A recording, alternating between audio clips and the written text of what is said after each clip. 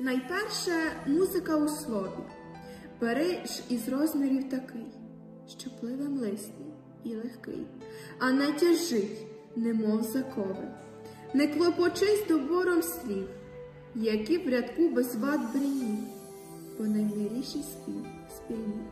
Він невиразний точний сплів, нім любий погляд з-під вуалю, нім золоте тремтіння дня.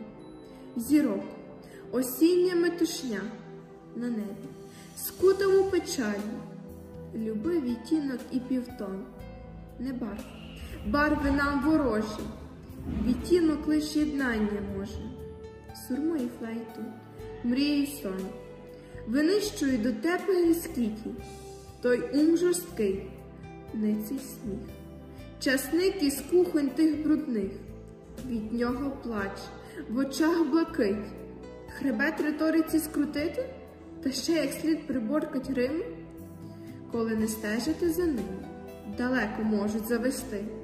Хто Риму вигадав зрадливу, дику чи то глухий хлопчак, скував за шах цей скат, що так.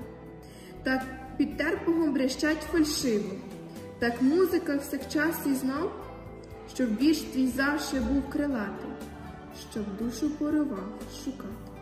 Нову блакить, нову любов, що мчав де далеч не похмуре, де чари діє вітерець, де пахне м'ята і чебрець, а решта все література.